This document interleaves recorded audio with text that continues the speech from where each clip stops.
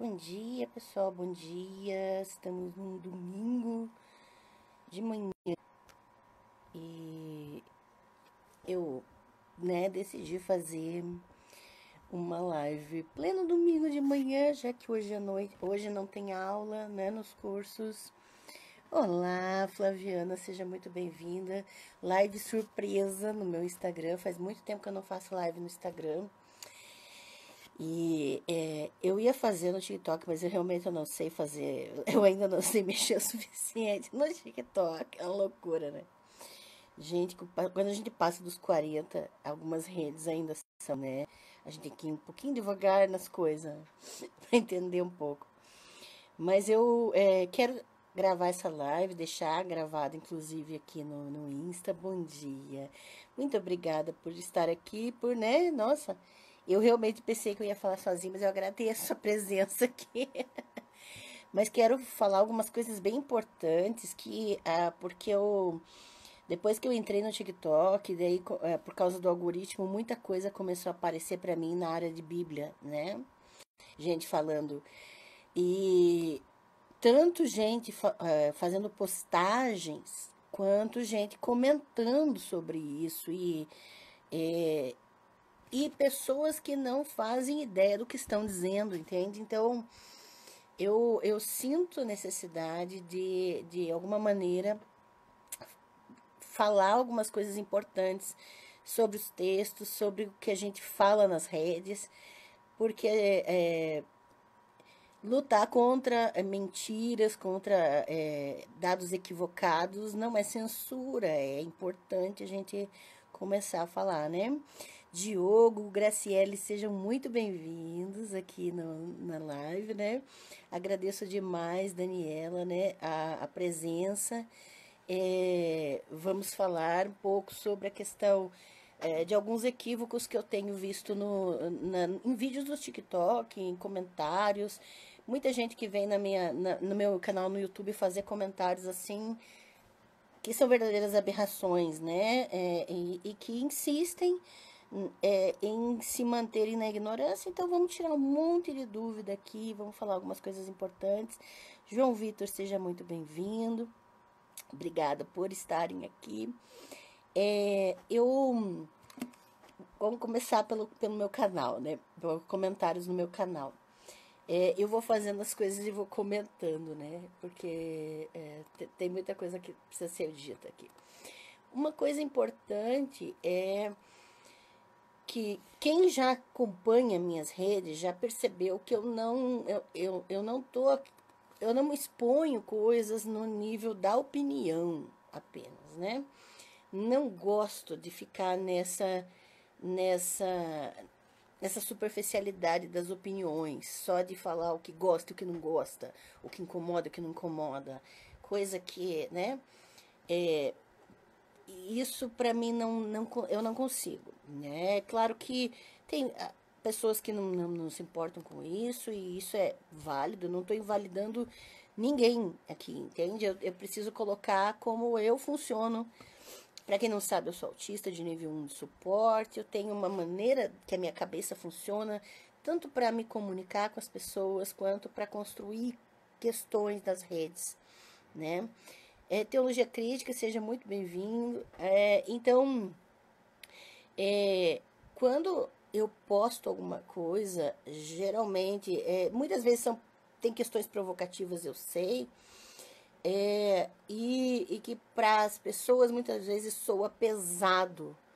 E por isso, uh, muitas pessoas se sentem no direito de rebater com agressividade como se eu estivesse propositadamente sendo agressiva. Quando a, a, a minha posição nas redes é de provocar reflexão e, e incitar que as pessoas pesquisem por si mesmas, é, que elas construam conhecimento. É, eu sou professora desde os 15 anos de idade, eu já passei dos 40, gente. Então, ah, é, a minha forma de funcionar, ela segue essa lógica, entende? Eu considero importante expressar isso. Então, um, é, para que é, as pessoas compreendam isso. E também tem as frases. As frases funcionam da seguinte maneira: ah, você está dando indireta o tempo todo. Ah, você está respondendo pessoas de forma geral em vez de falar diretamente com as pessoas. Muito bem. Na questão de relações sociais, relações pessoais, eu tenho uma grande dificuldade, sim. E quando eu não, não sinto segurança em comunicar uma insatisfação é, com alguém, o que eu faço é transformar aquela situação no, numa frase de alerta para que isso não se repita em relações de outras pessoas. Um sinal de alerta para algo que é comum na sociedade. Então, muitas das coisas que me incomodam em relações pessoais acontecem de forma assim é, sistemática nas relações sociais. Então, é, é, aí a, a, a, é como se existe uma linha muito tênue entre a relação com uma pessoa e as relações nas redes, né? E a gente precisa trabalhar isso, né?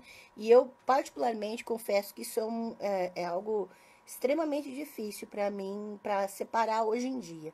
Olá, Juliana! Olá, Túlio! Sejam muito bem-vindos.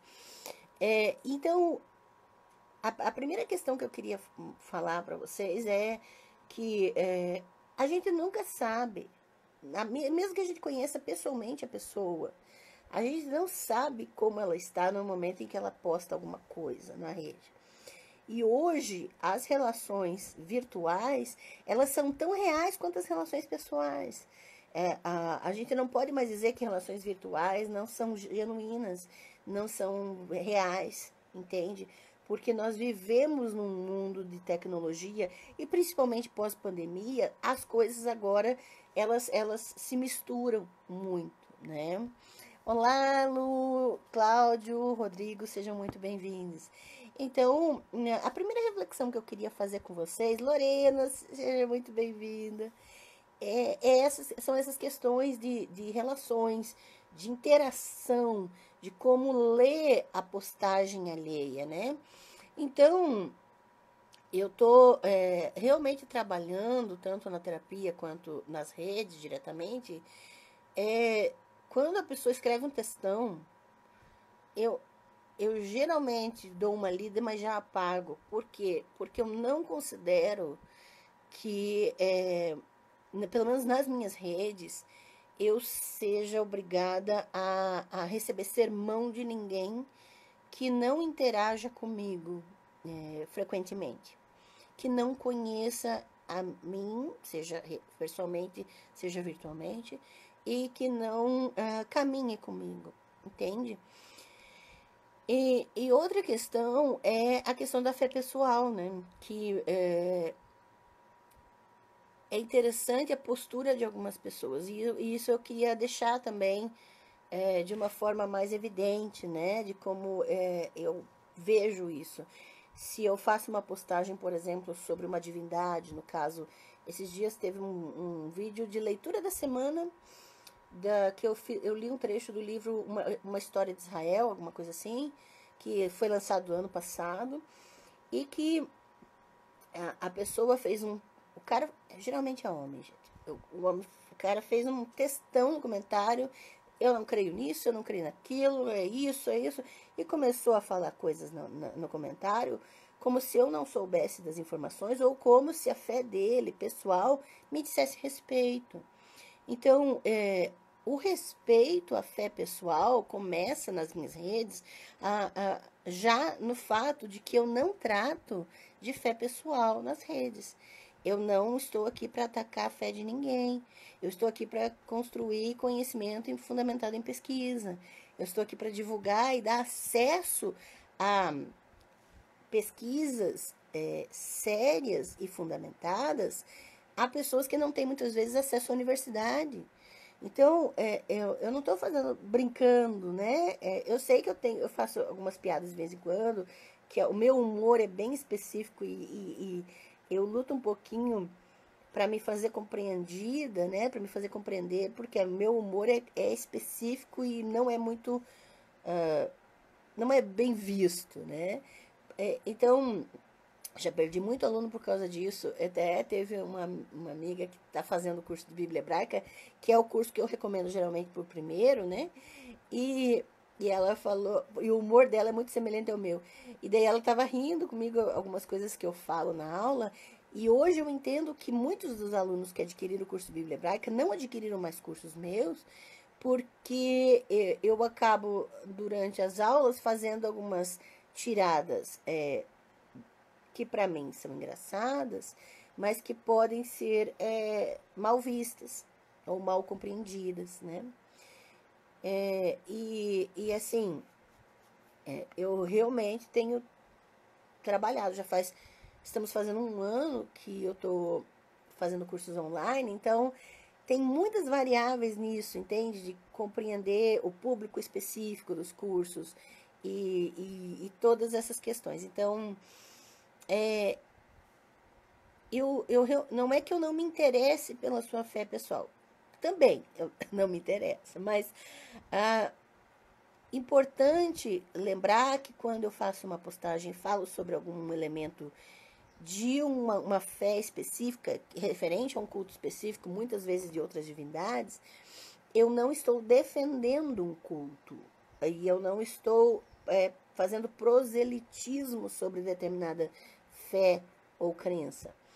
É, eu realmente não, não, não, não falo sobre a minha fé pessoal em geral, a não ser nas lives pessoais que eu faço no meu canal, lives específicas, né? Conversas principalmente com o meu amigo Wellington, em que eu falo da minha vida. Mas aí, é, quando eu falo de um determinado culto, de uma determinada divindade, eu estou falando sobre comunidades inteiras que foram silenciadas e que estavam nessa, em torno dessa divindade, em torno dessa cultura específica, e que a história delas não é contada, a história dessa, dessa vivência ou dessa interpretação da realidade é, é, é, é em geral passada para nós como paganismo, que é um termo problemático demais, que meus alunos sabem disso, que paganismo ou pagão é um, é um termo do contexto cristão. Quem é, é do contexto da história cristã para designar quem não é cristão. Então, eu vejo muitas pessoas que não são cristãs usando o termo paganismo ou pagão como se. É, né, sem, sem nenhum conhecimento de que esse termo é, é um termo pejorativo e intolerante, inclusive que representa intolerância religiosa. Então, essas comunidades que não são cristãs, que não são monoteístas, que não fazem parte de monoculturas, elas são silenciadas na história. E por isso eu faço questão de trabalhar os mitos dessas comunidades, porque elas, é, esses mitos representam a realidade de muitos grupos e como eles entendiam ah, o mundo que os cercava, né? Então, isso é, isso é uma, uma premissa importante. Outras questões que eu tenho visto em vídeos do TikTok, a, a questão da Bíblia, né? Eu, vi, eu tenho visto, inclusive, gente que vai querer falar de Bíblia e defender tradução de Bíblia é, para pessoas de, do tarô e para pessoas que trabalham com. Que, é, que não são experts em Bíblia, entende? Que não falam nem hebraico, nem aramaico, nem grego.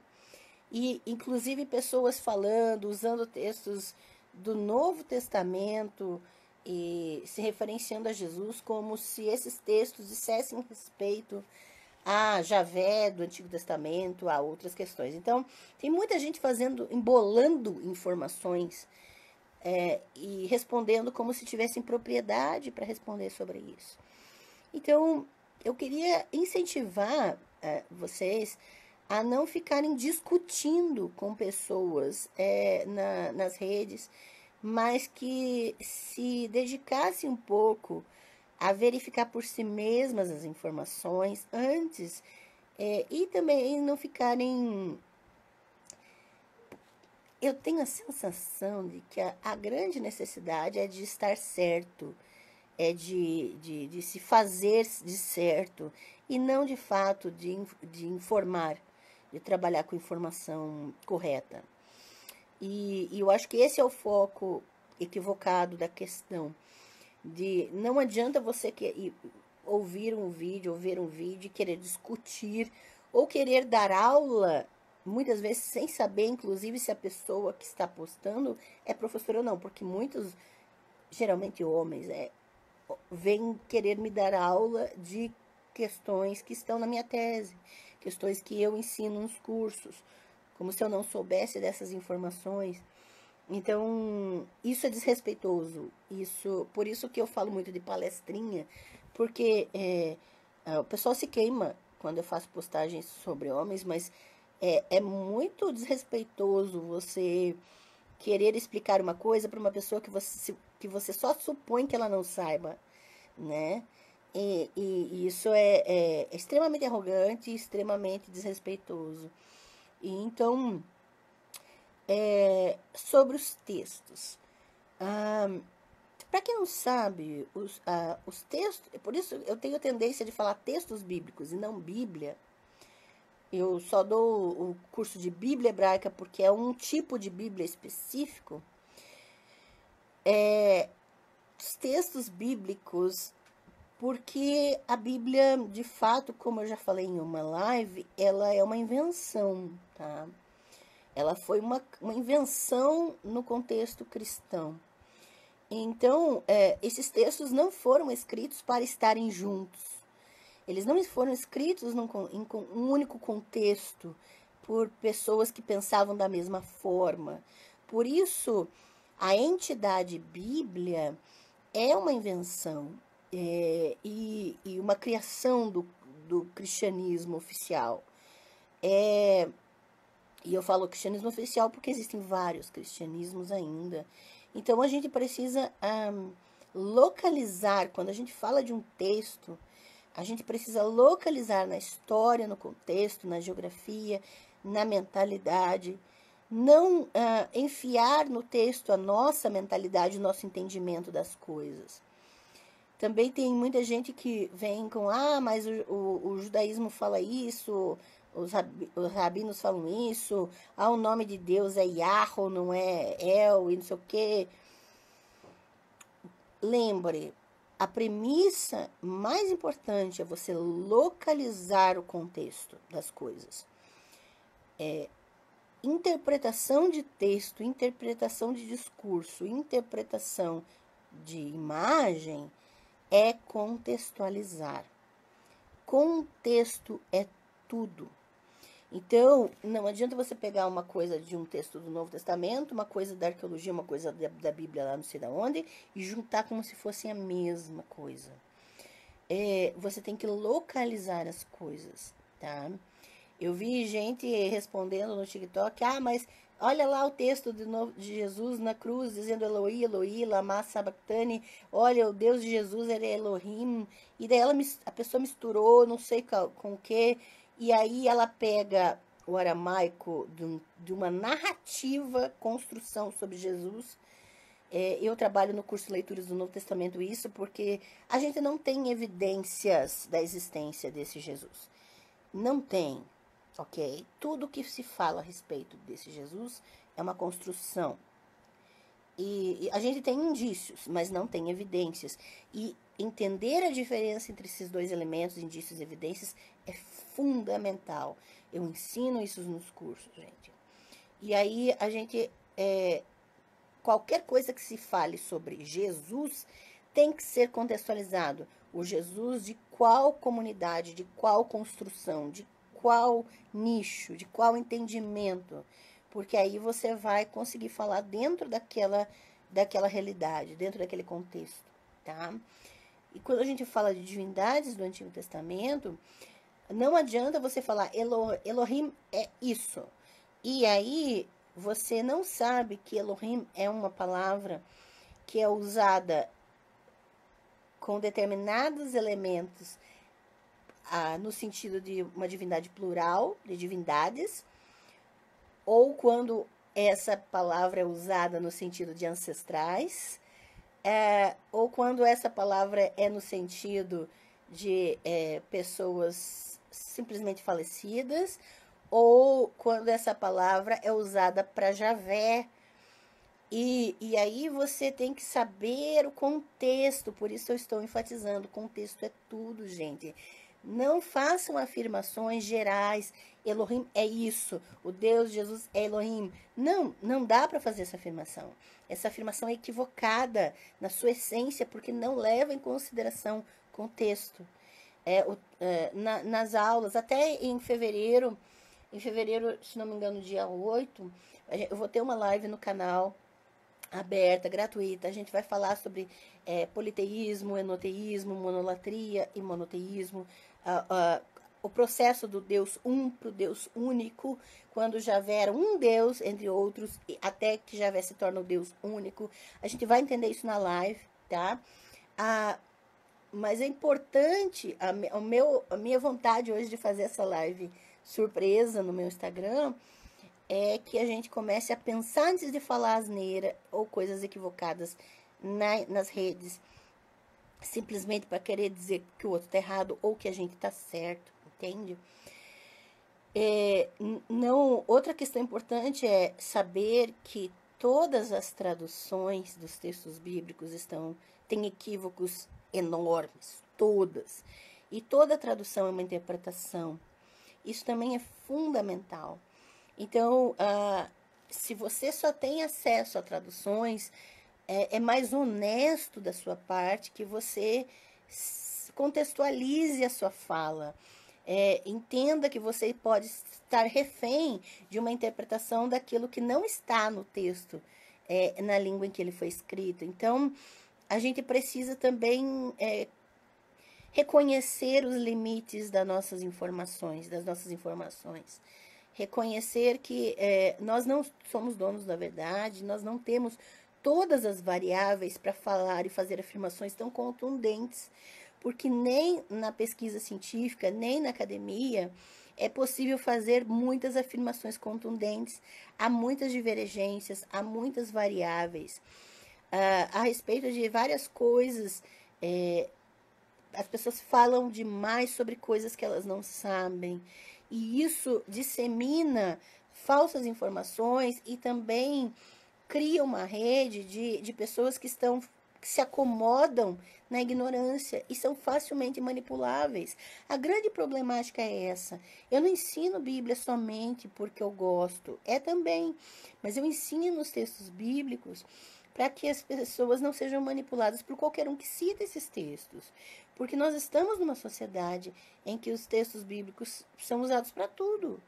Pra, e, e ele, facilmente as pessoas se projetam para dentro de textos que não têm relação alguma com as vidas delas, com a realidade delas.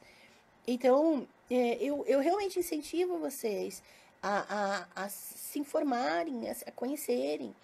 E quero, quero enfatizar uma coisa que a partir desse ano, que eu tenho um pouco.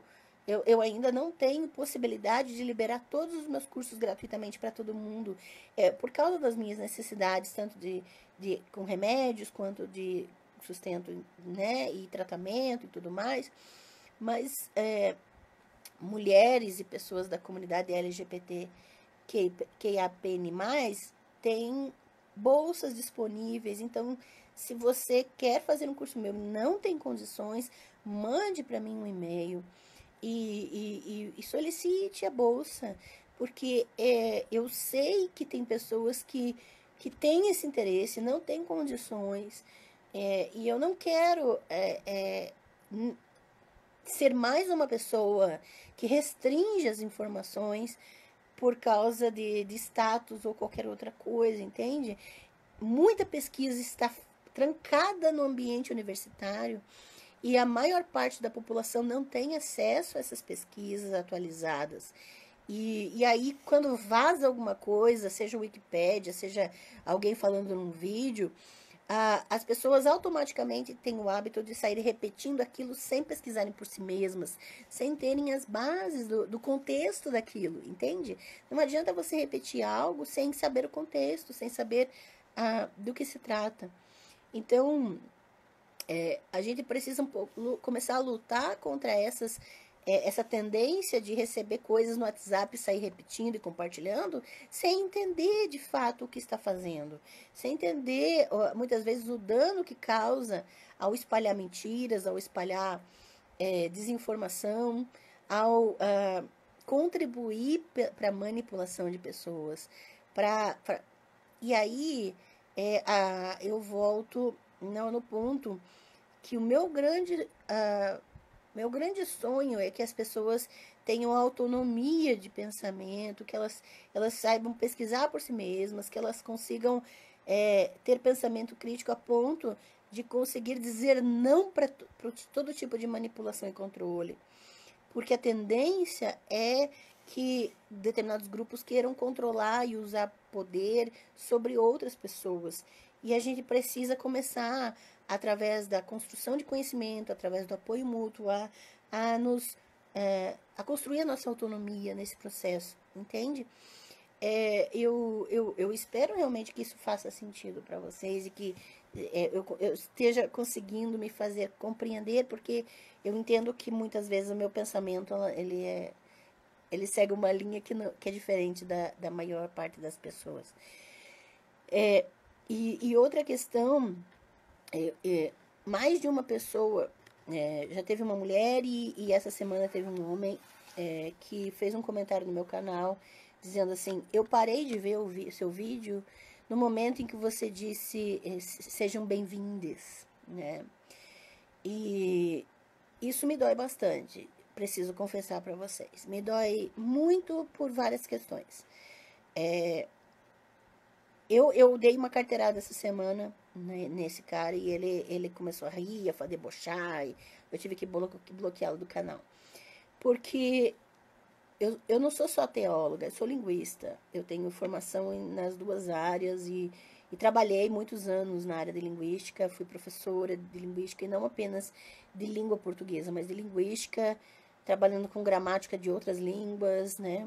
Então, é, você chamar de ideologia a questão do marcador de gênero neutro numa língua é, é extremamente problemático e equivocado. É, e, e, há várias razões para isso, tá? Então, é, incluir pessoas não é problema. Incluir é também faz parte do nosso processo de autonomia. Parece um paradoxo, mas não é. Porque nós construímos a nossa autonomia juntos, juntos. Então, a, a língua é viva e ela nos pertence. É, e, e nós é que construímos a nossa língua não é problema nenhum a questão da linguagem neutra. E a, a, a, grande questão, e é problemático, quando as pessoas se recusam a aprender ou se esforçam por, por se manter na ignorância simplesmente porque aquilo não lhes atinge. Então, se algo incomoda o outro, algo atinge a outra pessoa diretamente, e há uma forma de incluir, há uma forma de ser. Um, de, de, de tornar aquele ambiente para todos, então é isso que eu vou fazer porque assim nós podemos continuar nos apoiando mutuamente e construindo a nossa autonomia. É, eu não vou abrir mão de, de ser quem eu sou, de lutar pelo que eu acredito, e muito menos de falar uh, o que é fundamentado. A única questão que eu uh, peço encarecidamente é que a gente pense antes de ficar rebatendo ou respondendo pessoas nas redes, quando a gente não tem conhecimento sobre as questões que estamos falando. Uh, então, é, eu, eu entendo que por, por enquanto é isso. E eu estou uh, pensando em algumas questões ainda na minha mente, né? É, talvez eu faça uma live sobre Levítico, que são textos que as pessoas ficam né, falando muito nas redes. E, mas eu te convido a acessar meu canal no YouTube, assistir as lives, assistir as playlists. Tem dois cursos inteiros lá gratuitamente. Em março vamos acrescentar mais um curso lá. Se você tem não tem condições de adquirir algum curso meu e quer muito, mande um e-mail para mim, a possibilidade de bolsa. E se é, você é, quer né, tirar dúvidas, você mande um e-mail, a gente agenda, você. É, tem, eu cobro por hora aula, mas também se você não tem condições, a gente faz um valor social, a gente dá um jeito, mas é importante que a gente reconheça os nossos limites e busque é, contextualizar aquilo que fala e baixar um pouco a bola nas redes da questão do debate, porque a forma como a gente se expressa muitas vezes pode ser mais prejudicial e as informações que nós temos para rebater muitas vezes não são suficientes e nem bem fundamentadas. Esse é o meu apelo hoje para a gente é, refletir. Eu agradeço demais cada um de vocês que está aqui ao vivo comigo e é, talvez eu faça mais lives como essa. Muito obrigada, gente. Um bom final de semana e hoje, às 17 horas, todo último domingo do mês, tem live de sorteio de livros no meu canal no YouTube, Angela Natel. E vocês são todos muito bem-vindos. Você pode apoiar pelo apoia.se barra Angela Natel. A partir de 5 reais por mês, você já está concorrendo a livros mensalmente. Hoje tem sorteio para apoiadores ativos. Membros do meu canal também concorrem a livros e tem cursos, sempre dois cursos por mês estão os alunos estão concorrendo a livros também. Então são quatro livros para quatro pessoas diferentes todo último domingo do mês. Sejam muito bem-vindos. Aproveitem. Eu sorteio livros porque eu quero que, esses livros cheguem na mão das pessoas, que as pessoas tenham material, que as pessoas tenham acesso Cada curso meu, a pessoa recebe uma biblioteca digital. Você recebe, junto com o pacote do curso, uma biblioteca digital relacionada ao curso, com materiais de várias pesquisas relacionadas, não somente dos autores com os quais eu concorde. Obrigada aqui, viu? Muito obrigada pelos retornos. Olha, só queria dizer que você é maravilhosa. Conheci seu canal há pouco tempo e fiquei encantada com sua forma de ensinar e principalmente com seu propósito. Obrigada, viu? Muito obrigada, Daniela. É, Ângela, querida, sou fã do seu trabalho. Como responder alguém que fala da necessidade de congregar, sendo que eu optei a sair do sistema religioso? Como argumentar sem parecer tola? Gostaria muito. Ô, oh, Nayara, a grande questão é que nós, nós somos seres sociais, nós precisamos ter a nossa comunidade. E isso é, isso é fato, né? uh, independente de questões de fé ou religião. A questão é que pra, uh, uh, as pessoas de dentro do sistema, no contexto do, dos cristianismos, se utilizam de textos que não fazem, é, que não foram escritos para nós. Então, a, as pessoas, a, a grande questão já é no começo, na base dessa argumentação, você precisa se congregar. É, então, geralmente usa um texto de da carta aos Hebreus que fala sobre isso, né? E é muito importante que a gente saiba que a gente, se a pessoa está dentro do sistema religioso, ela não vai, ela não vai aceitar, aceitar nenhuma argumentação. Ela está fechada na ideia de que aquele texto foi escrito para ela, foi escrito por uma divindade e questões nesse sentido. Então, eu não recomendo argumentação. A pessoa, ela está querendo controlar a sua vida. Então, é, isso ela não tem direito, entende? Então eu não, eu, eu quando alguém fala, você tem que se congregar, Angela, eu digo, eu simplesmente digo assim, eu tenho a minha comunidade, eu tenho a, a comunidade de apoio mútuo. No meu caso, tem a rede de apoio da editora Monstro dos Mares, nós somos amigos, nós somos uma rede de apoio é, de, de cunho anarquista, né? E, e que, de alguma maneira, a gente se apoia. E é importante a gente ter no nosso grupo ah, um, um, pessoas com quem a gente possa contar, porque é assim que a gente cresce. Então, um, frequentar uma igreja ou fazer, ser membro de uma instituição religiosa não é necessariamente se congregar. Muitas vezes é mais parte de um clube, algo semelhante a isso, que você vai lá, bate o ponto e, né? Mas são pessoas com quem você não pode contar de fato, porque a partir do momento que você discorda, você está fora. Então, eu, eu não bato de frente com pessoas que estão dentro do sistema religioso. É, primeiro, por respeito a elas mesmas, porque elas não têm. Elas não têm essa base de que aqueles textos não foram escritos por ela, para ela, entende? E muitas vezes ela está simplesmente fechada na ideia de que aquela é a única forma que ela tem de, de ter um, uma, uma, comunidade de apoio, quando não é de fato a, a verdade, né? Então a gente precisa um pouco é, ter mais cuidado nisso, porque a gente também não sabe o que essa comunidade está fazendo para ela ou por ela.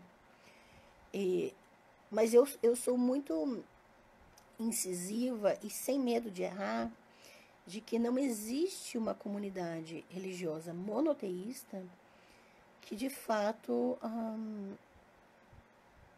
não seja controlador e não queira poder. Porque o todo monoteísmo, historicamente, fazendo uma análise interdisciplinar sobre os monoteísmos, você vai perceber que eles só existem sobre a, a, a base da anulação da identidade do diferente. Isso eu ensino nos meus cursos, eu demonstro isso nos meus cursos. Eu não apenas falo, mas eu demonstro e as pessoas têm condições de verificar o que eu estou dizendo, entende? É, eu espero, Nayara, que eu tenha te ajudado, né? É, em Premix, bom dia, bom domingo. É, então, é, eu entendo que as pessoas podem pegar qualquer texto da Bíblia para impor comportamento é, sobre o outro para intimidar a consciência alheia. E quando isso acontece, quando alguém pega um texto bíblico para impor comportamento ao outro, ou é, impor um tipo de consciência ao outro, ou intimidar ou cercear a consciência alheia, isso é uso político dos textos. É, aí, a igreja não precisa nem levar é, um político profissional para o púlpito. Aí você percebe que toda igreja, toda instituição religiosa é política, porque ela impõe comportamento e ela cerceia a consciência das pessoas. E, então, ao uh, a gente se posicionar contra esse cerceamento de consciência e, e contra esse controle de corpos, de consciência e de vida, é, nós estamos politicamente nos, nos posicionando mas para isso, a gente precisa conhecer os textos. Então, a, o meu apelo a você, tendo ou não condições de adquirir, se você não tem condições, entre em contato comigo, tem bolsa disponível, mas que você adquira os meus cursos. Não estou aqui, é, sabe, não é uma venda, é um apelo para que você se fundamente se, se, se eh, consiga as bases para resistir politicamente na sociedade, de forma a não ser controlado, não ser cesseado e não ser intimidado pelo uso dos textos bíblicos.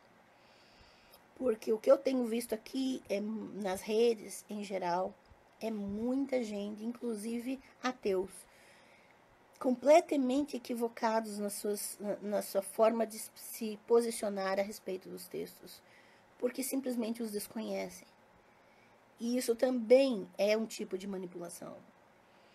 Então, é um convite à construção de conhecimento, é um convite para que você verifique por si mesmo, é um convite a você não ser refém das informações que se, da repetição de informações nas redes. E, e nós não estamos aqui para provar para ninguém que estamos certos e que o outro está errado. Nós estamos aqui para construir a nossa autonomia sobre nós mesmos, sobre a nossa, o nosso pensamento, sobre os nossos corpos, sobre a nossa vida e a, nos apoiar mutuamente, porque a gente não está numa competição. A gente não está aqui para vencer na vida. A gente está aqui para construir juntos, juntos. A gente está aqui para chegar juntos no final e vivos de preferência. Beleza? Obrigada, pessoal. Um grande abraço e até mais.